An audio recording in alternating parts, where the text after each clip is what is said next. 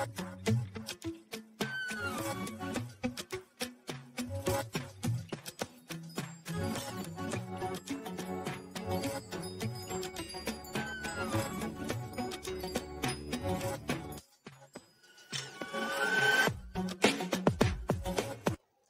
the construction problem that we have before us to solve says that using a ruler and a pair of compasses only, construct a triangle ABC such that side AB is 5 centimeters, side AC is 7 centimeters, and angle BAC is 120 degrees.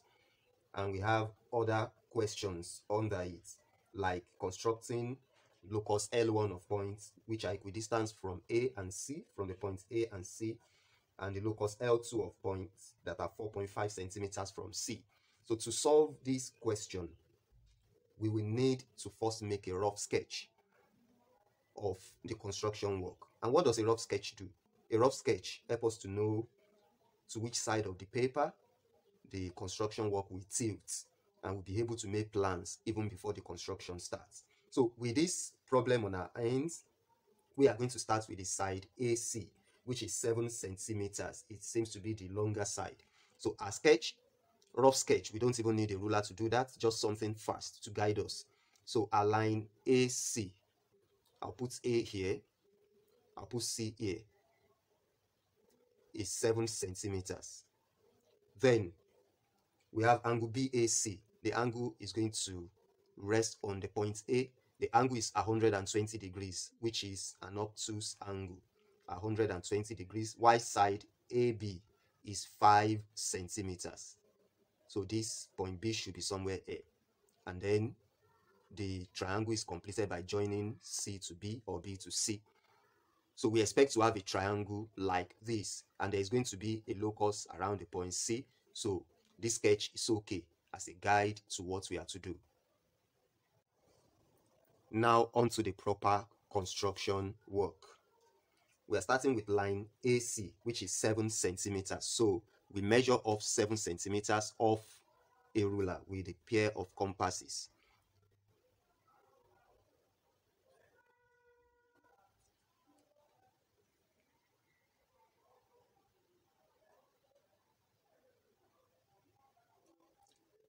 Here is the 7 centimeters, carefully measured. And with it, we draw arcs.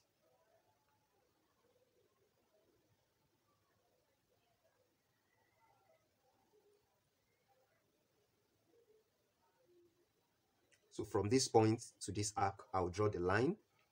Or better still, draw from here another arc. So from this point to this point, we join by a straight line.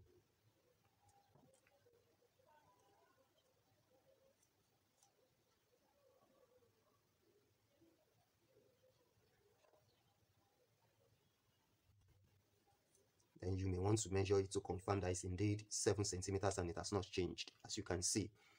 The next is to construct okay we can put um, c here.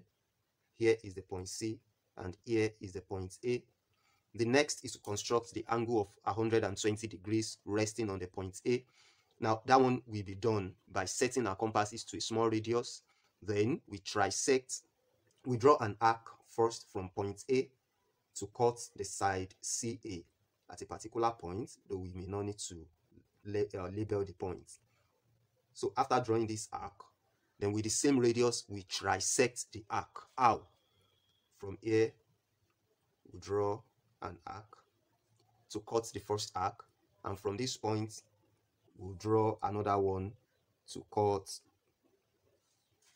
the arc again. So drawing a line from this place to the point A should give us 120.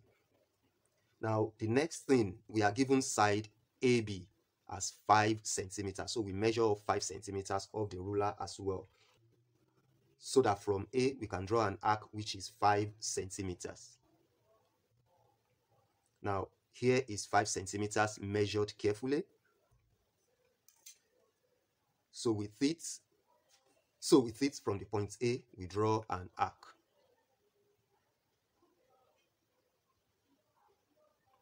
Every point on the arc to point A is 5 centimeters.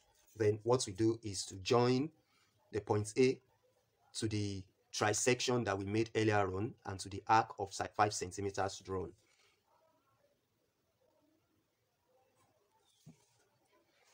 Before we proceed, this is the point B. This is the point B. Before we proceed, let's measure the angle to see that it's indeed 120 degrees.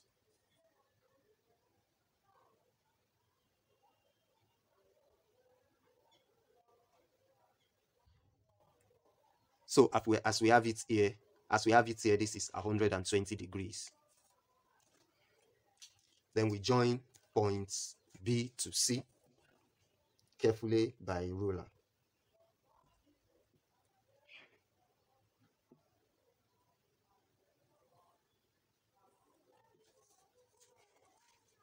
That is the first part of the construction done. The second part talks about two different loci the first one is locus L1 of points that are equidistant from A and C.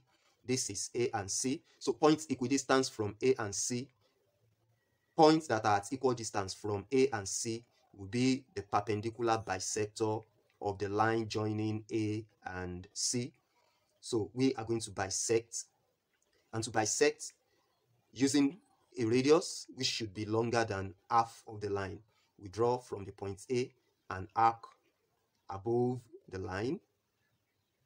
We draw another one below it with the same radius from the point A. Then we go to the point C and draw an arc with the same radius and draw to cut the one at the top and we draw with the same radius below it to cut the one below. Then we join the meeting points of the arcs together by a straight line.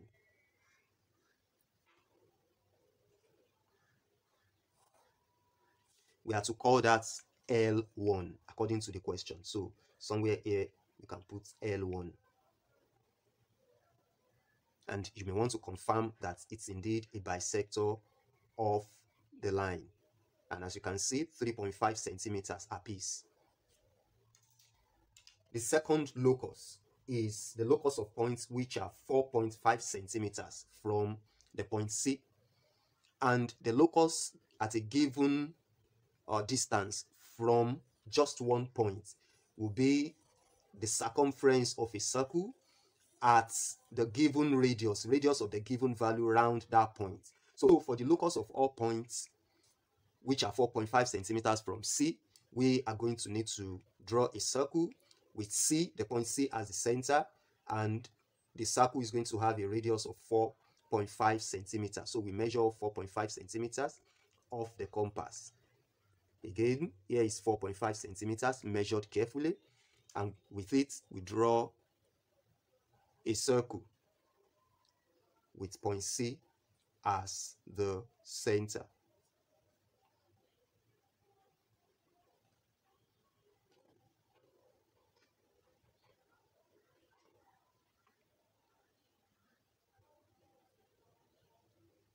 Again, that is to be called L2.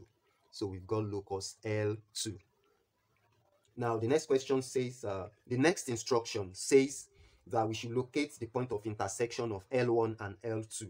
And the points of intersections are, point of intersections, there are two. We have to call them N1 and N2. Here is the first point of intersection to be called N1. Here is the second point of inter intersection to be called N2. Now to measurements problem on it. We have to measure certain sides. So first, we have to measure N1, N2. And secondly, we are to measure BC. So N1, N2 and BC. Those are the lines to measure. We can do that with the help of a divider. So we place a divider on the point N1, N2 to take up the to take the measurements and we read the measurements of a ruler. So you can see the compass is set on N1, N2. Then we transfer that to the ruler to know what it measures.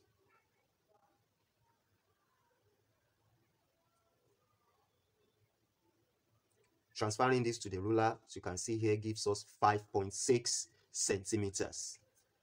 So N1, N2 is 5.6 centimeters.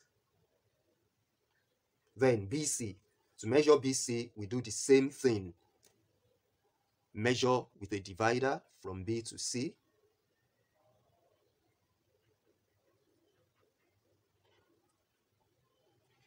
Now we have measured from B to C with a divider. We transfer it to the ruler to take the measurements.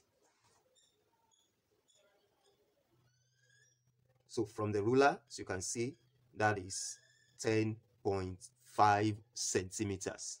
So BC is 10.5 centimeters.